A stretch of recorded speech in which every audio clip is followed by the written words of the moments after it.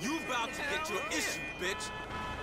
Listen, son, if you want to get chin checked, I I'm right no here. No problem getting locked up for killing your punk ass.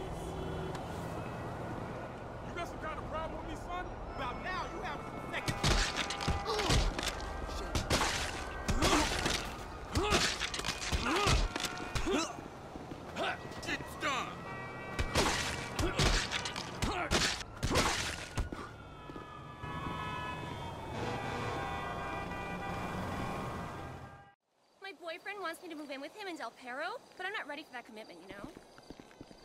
Let's go shopping for new dildos. Mine's total.